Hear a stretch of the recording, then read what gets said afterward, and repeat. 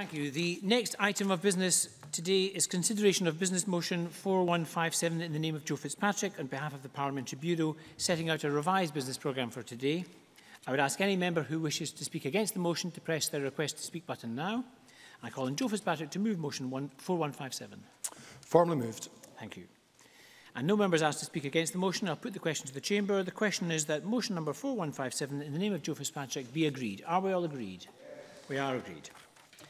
The next item of business is a statement by Aileen Campbell on the National Review of Maternity and Neonatal Services. The Minister will take questions at the end of her statement, therefore there should be no interruptions. I would call on any members who wish to ask a question to press their request to speak buttons now.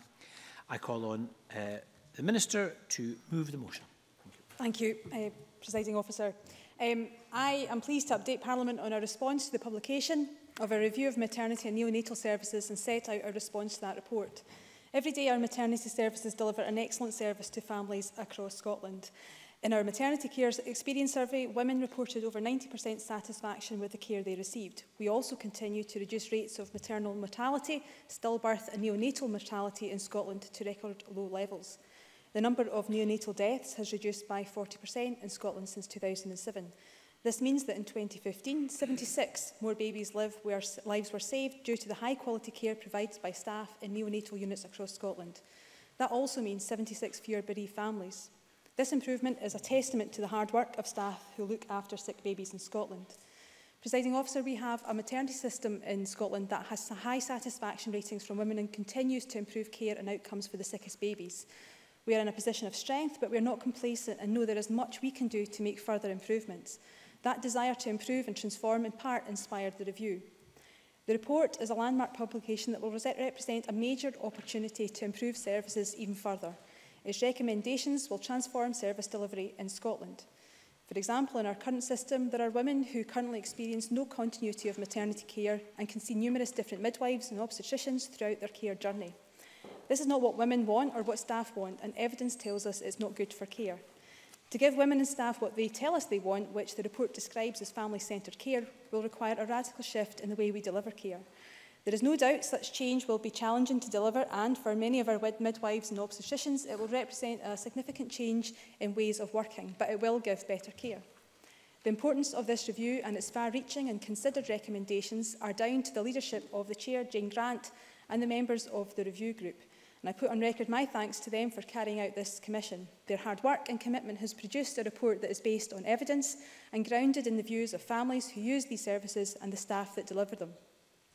The breadth of engagement undertaken by the review team, supported by the Scottish Health Council, is impressive, and I welcome a report so strongly anchored in the views of the hundreds of service users and staff across Scotland who contributed. I want to outline the next steps on implementation and highlight some of the key principles and recommendations in the report. Firstly, it is my pleasure to announce that Jane Grant has agreed to chair the implementation of the review recommendations. It was Jane's drive, commitment and inclusive approach that produced such a well-researched and thorough report. And as, experienced, as an experienced NHS Chief Executive, she is the right person to chair the major programme of implementation that we will now embark upon. Over the coming weeks, Jane will appoint the implementation group to drive forward delivery of the recommendations. Chaired by Jane, this group will be tasked with progressing quickly the priority recommendations and providing a detailed plan and timetable for implementation over the five-year delivery period envisaged. I will ask this group to get underway quickly and to report back to me at regular intervals on progress. All of the 76 recommendations will take time to implement but are important, but there are a few I want to highlight. Firstly, continuity of care. The report at length highlights the importance women and families attach to forming a relationship with professionals caring for them and having continuity. This recommendation, as the report acknowledges, challenges traditional NHS approaches. The report recommend, recommends identifying a number of early adopter boards to lead the change in practice, supported by proper training and development for staff who will require it. And I'm also pleased a number of boards have already volunteered to do so. We will announce shortly which boards will lead the first phase of implementation and will work carefully with boards to scope out the scale of task and ensure that the early adopter boards can properly test the challenges of implementation. Secondly, I want to move quickly with the proposals to implement the range of recommendations on person-centred maternity and neonatal care which are aimed at keeping families together. These include recommendations to keep mother and baby together, to involve parents more in the delivery of care and to provide accommodation and a national approach to expenses for families with babies in neonatal care. And I want to underline how important it is that families stay together. No mother wants to be separated from her new baby, even for a, short, a very short time, and we should never underestimate the importance of the early days of life for family bonding, for breastfeeding and for attachment. And I want this to be a core feature of our services in the future, and I'll ask the implementation group to prioritise those recommendations. Thirdly, on uh, redesign of maternity services with a focus on local care and multidisciplinary community hubs. We all know that women want care to be delivered as close to home as possible. And again, I want boards to move quickly with the assessment of potential for hubs within their local areas to allow local delivery of the majority of maternity care as soon as possible. Finally, on the model of neonatal care. The model described in the report aims to reduce the number of babies who need to spend time in neonatal units by keeping mothers and babies together in postnatal wards with in-reach support from neonatal staff and by putting in place wraparound community support to allow babies to be cared for at home by their parents sooner than they can be currently. All 15 neonatal units will remain and continue to care for babies in their area – The clinical evidence shows that the outcomes for the very smallest and the very sickest babies will be better if they are cared for in up to five enhanced neonatal units, delivering highly specialist care, moving to three such units in the longer term, if possible, based on experience of operating in up to five. This new model is based on evidence and emerging good practice from Scotland and the rest of the world, and I want the implementation group to outline clear plans to allow the neonatal community to progress quickly with implementation of these recommendations. Again, this will be a priority for the implementation group. Now, I've already outlined the strength of the engagement with women, families and with staff in NHS boards that underpins the report. And I want this partnership and co-production for delivery to be a core feature of implementation. I'm sure we all agree that solutions developed in partnership will have a far more chance of success and sustainability, but will also require time and space to ensure the beginnings of this transformational shift are right. And that's why I will continue to keep Parliament and spokespeople informed of progress, particularly on neonatal units and pathfinders. Proceeding on the basis of partnership and co-production will take care and time, and while the report has been warmly received across Scotland and discussions are already underway with the NHS community about the recommendations, implementation will be challenging and complex. I will request the chair of the implementation group to build partnership into delivery from the start, and I'm prepared to give the implementation group the time to do that properly. Similarly, I am keen to work in partnership across the parliamentary chamber on this. Now, whilst much of what is in the report is about redeployment of existing resource, it is also clear that some of the recommendations will need investment to deliver. All boards are at a different starting points in terms of delivery, and we will work closely with them, learning lessons from early adopters and existing good practice to quantify what additional resource will be required. In many cases, it is hoped that this investment will realise savings over time, though improved outcomes for women and babies is ultimately the real prize. Finally, I will ask the implementation group to instigate a detailed pace, piece of work on staffing.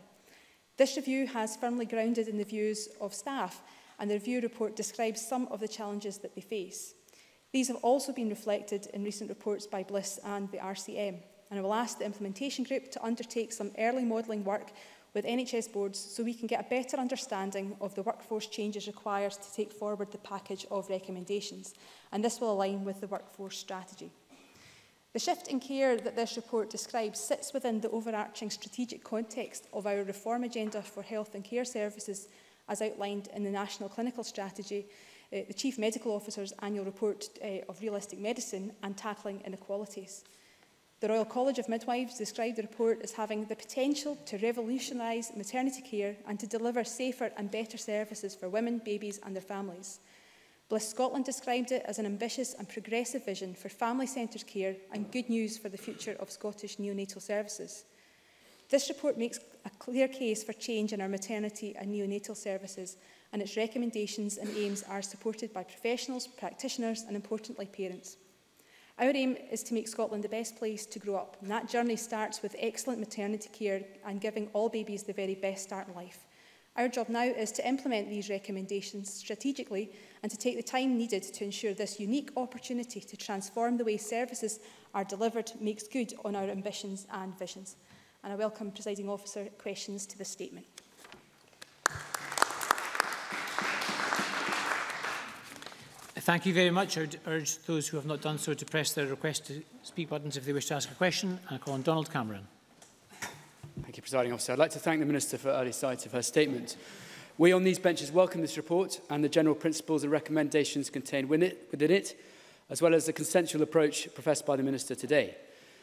We agree that where possible, mothers having a normal delivery should have appropriate access to local or community-based maternity services. However, it is clear that there are still issues that this statement hasn't addressed. Let me name two. Firstly, we are concerned at the reduction in intensive care units, with the current eight units being reduced to between three and five, and then ultimately to three by the end of this Parliament. And secondly, there are still major issues over staffing that the Minister has brushed over in her statement. The Royal College of Midwives commented after publication of the report – and outlined their concerns about retirement, saying that heads of midwifery are getting nearly double the amount of retirements that they used to get. And they also spoke of general recruitment issues in the Highlands and in Grampian in particular. The report states that all women should have an appropriate level of choice in relation to place of birth, and there are a number of choices that should be available to all women in Scotland, including birth at home, birth in an alongside or freestanding midwifery unit, and hospital birth. To that end, What action will the Minister take to ensure that all women in Scotland have that choice and will the government support the provision of such services in rural and remote areas of Scotland? Minister.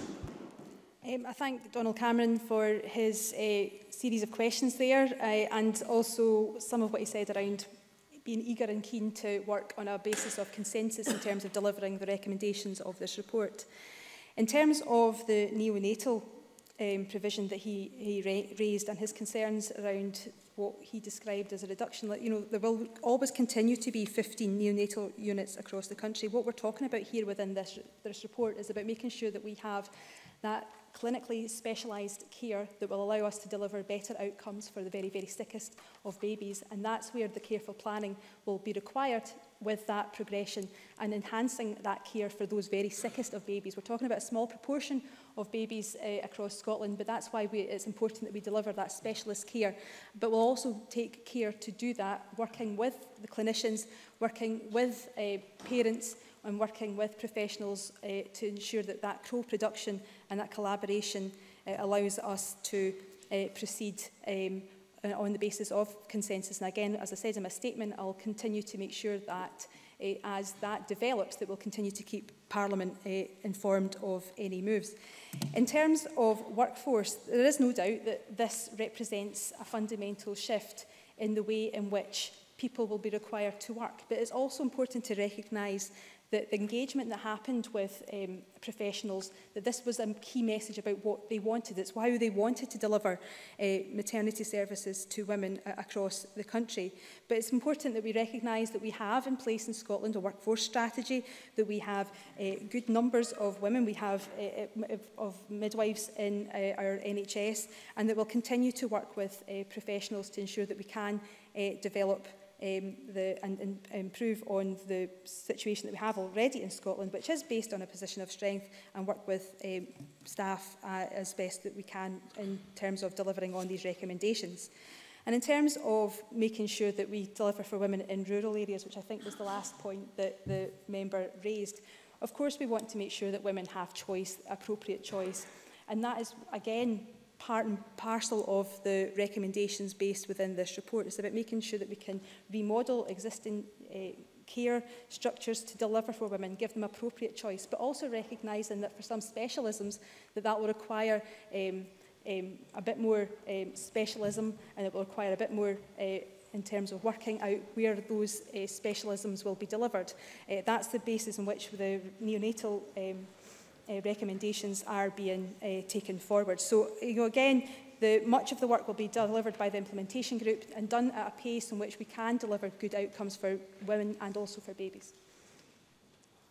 Anas Sauer. I thank the Minister for prior sight of the statement. I think it's important to look at this report alongside the Bliss Scotland baby report because it's clear that this government's failure to workforce plan has left our maternity and neonatal units understaffed and existing staff overworked. Their report found that three quarters of units do not have enough nurses and two thirds of units do not have enough medical staff to meet minimum standards of care. And over half of units do not have enough overnight accommodation for parents of critically ill babies.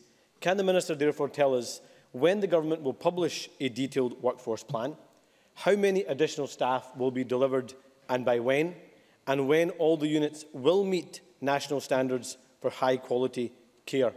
The report recommends removing intensive care cots from 10 units over the next five years. Which 10 units will lose their intensive care cots? What impact will that have on travel times and on keeping families together? Because the report also makes clear the desire to keep mothers and babies together. What additional capacity will therefore be created for free accommodation for parents of critically ill babies? And finally, the report says all women should have the appropriate level of choice on where to deliver. So therefore, will the Minister re recognise that the proposals to close the maternity units at the Vale of Leaven Hospital and at the Inverclyde Royal Hospital are ill thought through, that she will call them in and reject them? Minister. Um, thank you to Anna Sarwar there. Um, I think what he fails to recognised is that we have a, a good record in Scotland in terms of delivering maternity services. And while there are challenges, as outlined uh, in the report, that we do have some things that I think we should be proud of. We have an innovative midwifery workload and workforce planning tools, a UK first, and that's helped to ensure that NHS in Scotland continues to meet the RCM recommended midwife to birth ratio, unlike in other parts of the UK, where RCM are clear that there is currently a shortage of midwives. So again, in Scotland, we're taking a, a leading uh, way forward in terms of delivering for women across the, the country. In terms of keeping babies, babies and parents together, of course, that's why we want to uh, transform the way in which maternity services are delivered in Scotland, making sure that we keep women alongside their babies because we know how important that is for bonding, for attachment, for breastfeeding and a whole host of other positive outcomes for some of our most sick uh, babies. But again, you know, the neonatal um, recommendations uh, for going to, go for specialising neonatal care to, from five to three uh, services across the country is based on clinical evidence about what works for a very small proportion of babies across the, the country and making sure that we have good outcomes for those sick babies and making sure that we can do all we can. And that is why we are taking forward these recommendations at a pace and a scale that is comfortable to ensure that we can transform the way in which care is given and we can improve outcomes for babies. And I think that's something we need to unite behind. This is going to have to be based on clinical evidence, but what tells us is the best for the babies across uh, our country. And as I said in my statement, we will be looking at things around accommodation, around transport, to make sure those people who live in rural areas across the country are able to access uh, those, that specialist care in a way that is comfortable for them and doesn't have the uh, unnecessary stress and strains that we know has happened in the past and we want to eliminate to ensure that every mother uh, gets the very best care and that every child gets the best start in life. Fulton McGregor. Presiding officer, can I take this opportunity to remind the chambers that, uh, that I am the parliamentary liaison officer to the health secretary. Can the minister outline what the expected patient care benefits are from the recommendation that every woman using maternity services has a primary midwife? Minister. Well, the recommendations are to make sure that there is a continuity of care for women across uh, their maternity journey. And that is because people want to develop relationships, they want to have familiarity, and they want to make sure that they're informed. This whole process has been developed in, with deep engagement with a, eh, a eh, mothers and with a, eh, mothers-to-be, with professionals as well. And actually, there is a a, a meeting of minds on this, that that's the way in which maternity, uh, people who are delivering maternity services want to create the service as well. They want to make sure that they have a, a relationship that's built up with the, the mother who is in their care. So the potential to transform the way maternity services are delivered in, in the country is great and we have a unique opportunity to now build on the recommendations within the report, transform the way maternity services are delivered in Scotland and really make sure that we embed that co-production, that partnership and that empowering of women across the country to deliver what they want to, to happen across our country. Miles Briggs. Thank you, Presiding Officer. Um, I welcome the fact that the review calls on all NHS boards to review their current access to perinatal mental health services to ensure early and equitable access is available to high quality services with a clear referral pathway. However, given NHS boards difficulties in recruiting trained psychological staff, what more can be done by the Scottish Government to ensure that perinatal mental health services are appropriately staffed so that mothers who need these services and who would benefit from early intervention are not kept waiting for months for this support? Minister. Um, again, I thank Miles Briggs for his question and I recognise the, the real and long-lasting interest he's had on this issue and, and more generally on, on mental health. And I know that he hosted a, a conference yesterday as well and be absolutely um, pleased to kind of get some of the outcomes from that if he wishes to share those. Um, Maureen uh, Watt, the Minister for Mental Health, um, announced a managed clinical network around perinatal mental health. Of course, we're taking forward the mental health strategy, which will also dovetail into the work around improvements for maternity and neonatal prenatal services in the country. And we have a whole host of other ways in which we do provide support for those who are more vulnerable, uh, including things like the Family Nurse Partnership, which um, engages deeply with uh, women who are uh, potentially vulnerable, young, uh, first-time mothers, uh, teenage mothers, and we're rolling that out um, across uh, the country. So there are a range of services there at present, but of course we recognise the challenges that exist. That's why the Minister announced at MCN, and that's why we're taking forward a mental health strategy and together we will make prove, improvements for uh, uh, for women's uh, mothers' uh, mental health uh, issues because of the real um, recognition within the report that, that we have to make uh, vast improvements on this area. Claire Hockey. Thank you, Presiding Officer. And I'd like to refer members to my register of interests. I'm a registered mental health nurse, currently registered with the NMC. I think it's important to start off by thanking all of those who work in our NHS. They do a fantastic job and provide an excellent maternal and neonatal service. And I welcome the update from the Minister. I wonder if you could expand further on any development and training opportunities as a result of this review and confirm that she will be working with NHS boards to examine staffing implications. Minister. Yeah, absolutely. This, again, this reflects that this will require a shift in the traditional norms of delivering maternity services across the country. This, how, however, has been done with engagement with NHS staff and this is in response to what they have told the, uh, those involved with the review. So there will be implications for workforce. It will require remodelling and that will also require uh, training uh, as well to ensure that we have the, the, the correct and appropriate services in place to deliver for mothers who are about to use maternity services uh, across the country. But Claire Hockey is absolutely also correct to recognise the hard work and endeavour of staff across our country. We are in a position of strength in terms of how we deliver maternity services in Scotland, but we want to build on that and improve it further. Jackie Bailey. Time last year, before the Scottish Parliament elections, the SNP accused me of scaremongering when I spoke about the closure of the Vale of Leven maternity unit. Immediately after the election, the proposals which were denied were then published. So I very much welcome the Minister's commitment to delivering maternity services closer to home. But is she aware that NHS Greater Glasgow and Clyde have kicked the formal consultation into the long grass and, surprise, surprise, will not be considered by the Health Board until after the election? I'm sure that the Minister will view this as a deeply cynical move, so will she today put an end to this nonsense and commit to the continuation of the full maternity unit at the Vale for the remainder of this Parliament? Minister.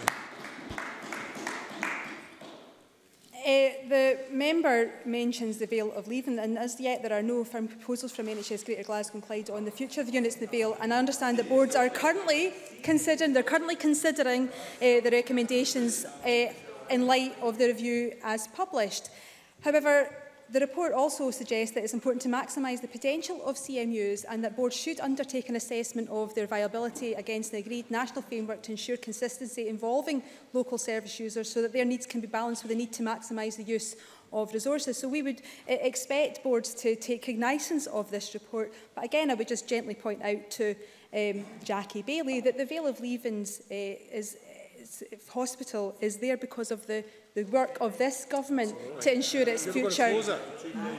Jackie Bailey's the uncomfortable truth, the uncomfortable, the uncomfortable truth for Jackie Bailey that it was her that her administration were prepared to close the Vale of Leaven. And Jackie Bailey might see that this is a boring, but the fact is that her and her colleagues who are shouting 10 years at us, it would have been shut for 10 years if her party had been brought back to power. It was this government that took decisive action and gave the Vale of leaving a future that is bright.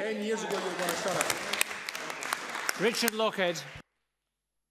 Many of the aspirations in the report uh, do deserve support, especially the emphasis on local care However, in terms of delivering local care, will the Minister commit to supporting our more rural neonatal units and maternity services, such as the excellent service at Dr Gray's Elgin? And we should acknowledge that to maintain these services, the current pressures have to be addressed by health boards in terms of workforce planning uh, and resources, particularly given that in more rural units, uh, vacancy for a consultant or midwife can have a disproportionate impact and it's not always in the best interest of mums and babies to travel long distances in terms of clinical, practical or resource reasons. Minister. Uh, yeah, Richard Lockhead, right to correct and correct to point out the importance of workforce planning, and that's why we'll enshrine safe staffing and law by putting our workforce planning tools on a statutory footing. He's also correct to point out the importance of rural services, which is another key element of the report where mothers and families have told us how important they feel it is to have services delivered as close to home as it possibly can be. But of course, that does raise challenges where there is a requirement for specialist uh, uh, interventions. Uh, but again, I would just reiterate that we do attach a great importance, the review attaches a great importance to um, rural services across our country. Uh, uh, but this does signify a, a transformation in the way that services will be delivered and will continue to work with health boards uh, and uh, um, and uh, patients and mothers and maternity users across the country to ensure that that, that key principle of ensuring that uh, maternity services can be delivered close to home uh, is the way in which we proceed as we implement the recommendations. Alison Johnson. Um, thank you. I thank the Minister for advanced sight of the statement. The statement says that babies will be better, uh, the very sickest babies will be better if they are cared for in up to five enhanced neonatal units, delivering highly specialist care, moving to three such units in the longer term if possible. Uh, can the Minister advise what would trigger such a move? And if there are fewer units, that will necessitate more transport. And to what extent has ScotStar been involved in the review process and what work is planned to ensure that we have sufficient capacity in our neonatal transport services? Minister. Thank you. Scott Star will be absolutely uh, involved in, in, uh, in the process of, of recognising the requirements, the greater requirements that we've made of transportation uh, as we work through the recommendations around, around the neonatal units. Again, I said in my statement that I will keep the Parliament abreast of those um, uh, as, as things progress around the neonatal um, recommendations uh, because we have to do this in a managed way and that is recognised in the report. The first step is to make the move up to five units, and that will require planning, careful planning and capacity eh, building in some units. Uh, the move to three will be considered over a much longer uh, timescale and will be informed by the experience of moving to those initial five units. And that, of course, will be also influenced by the recommendations and the,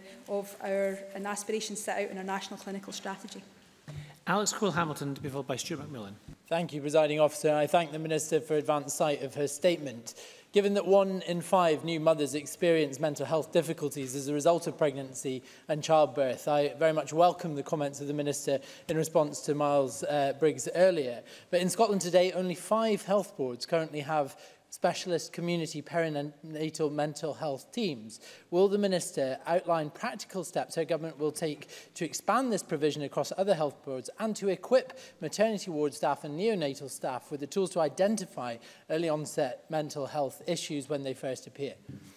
Minister. Uh, again, the, the importance of good uh, maternal mental health is a big feature of the report uh, as published and again that recognition it was a motivator in the Minister for Mental Health publishing uh, an MCN and uh, committing to rolling out best practice across the country. We recognise that there are challenges that still persist around mental health for uh, mothers and mental health more generally, which is why the Minister for Mental Health will be publishing her strategy uh, very soon. But again, the point that Alec Cole-Hamilton makes is a good one, uh, and we'll take cognizance of his keen interest on ensuring that we can do better by mothers around their mental health uh, as we implement the recommendations, and we'll ensure that the implementation group and Jean Grant that leads it will uh, prioritise this work. Stuart McMillan to be followed by Brian Whittle. Thank you very much, President Officer. Uh, Minister, the RCM Scotland Director Mary Ross Davies said earlier this month that in terms of midwife numbers that in Scotland we are doing well, we have known for a long time in England that there is a really significant shortage of midwives. Uh, can the Minister outline if the RCM will be engaged in national and regional workforce planning to ensure that we have the right mix and numbers of staff in the future and also to avoid the shortages being experienced in England? Minister.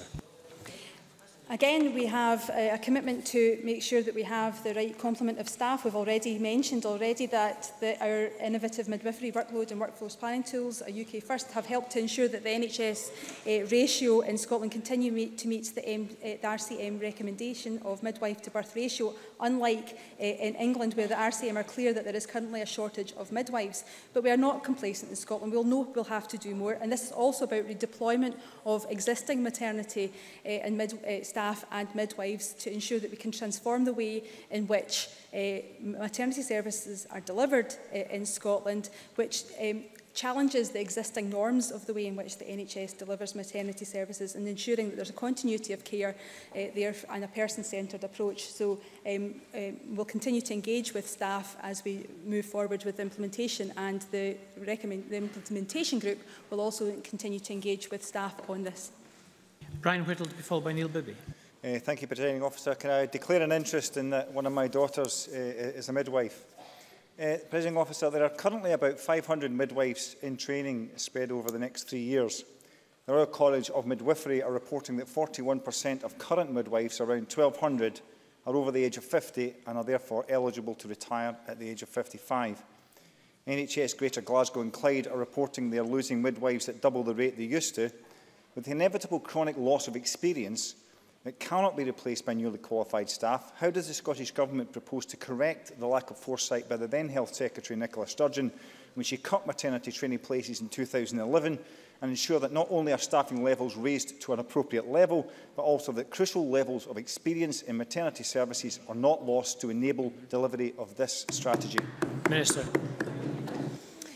In a number of responses I've made to, to members in, uh, who have asked questions about um, maternity and midwife numbers, I've mentioned that Scotland's ratio continues to be better uh, than many other areas of the, the UK. I've also wanted to give uh, some clarity to Brian Whittle that we've increased the student midwife intake for five years in a row, including another 4.9% increase for 2017-18. So that equates to 191 midwifery training places in 2017-18, which compares to an intake of 172 students in 2006 07 eh, We also will have to cope and deal with the situation imposed by his party around Brexit, in which we rely on many EU nationals to deliver many services, NHS services across our country. And I hear them talking, hearing us to change the record. The reality is that these are things that we're having to deal with with our workforce planning. And I hope he's been so robust in his questioning with me, with his colleagues down south, um, ensuring that we can make sure that Scotland's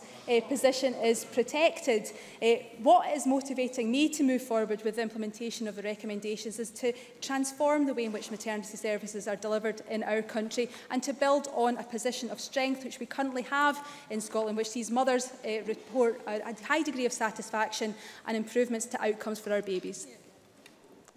I'll take two very, very brief questions, if the Minister is also brief. Neil Bibby. Ministers have uh, plans to reduce intensive care units at neonatal units across Scotland. Today, NHS Greater and Glasgow and Clyde agreed to submit their plan to close the children's ward at the REH. This comes after months of denials from the SNP that these proposals even existed. The final decision will rest with the SNP government and it must be rejected. Can the Minister tell me whether the REH is one of the neonatal units to be downgraded further with a removal of intensive care cots too? And given that the review talks about the need for choice and local maternity provision, will the Minister make sure that the Government keeps its promise to protect services in Inverclyde and reject plans to close the Inverclyde birthing unit?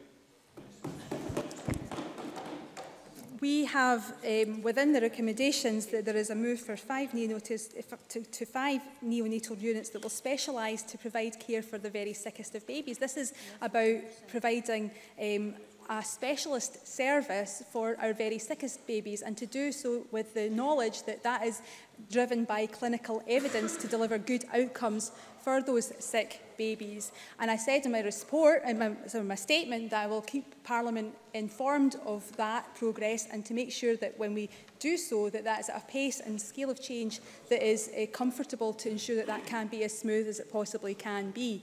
Uh, and again, you know, the recommendation, the, the, the NHS Greater Glasgow and Clyde have uh, to, or to continue to work through their proposals. And I know that he has a real interest in the services that are delivered close to his home, but we will expect our NHS boards to take cognizance of the recommendations within our report and, and proceed on that basis. And finally, Kenneth Gibson. Thank you, Presiding Officer. I welcome the statement and the Minister's commitment to accept all 76 recommendations in the report. Working to continue to reduce stillbirths and neonatal deaths must be this Government's absolute priority. Nevertheless, for those families who have suffered such a tragedy, what steps will now be taken to ensure they are then treated with empathy, dignity and respect by the NHS, rather than confronted with inertia, suspicion and hostility when trying to find out how and why their baby died? Minister. Uh, and I thank Kenny Gibson for, for raising this, this question. Um, I can't imagine the pain and suffering that any parent goes through when they have lost a, a child. Uh, and he is right to make sure that, that we uh, when we improve the maternity services, that parents are treated with respect and dignity and empathy after having to cope, after having to cope with such a, a dramatic loss. Uh, there are reasons to be um, hopeful around the improvements that we're seeing around maternity services because they are safer than they've ever been. But that doesn't take away from the, the pain of a family that's having to endure uh, uh, such a loss. And the, is, we will continue to make sure that we support uh, parents through bereavement, uh, make sure that we uh, have a better understanding of what that will require. Uh, and, and bereavement uh, um, is a very much a, a part of the uh, recommendations set out within the report and will take cognizance of members' own experience and personal uh, suffering uh, around any improvements that they think we should take forward as well within this uh, uh, review.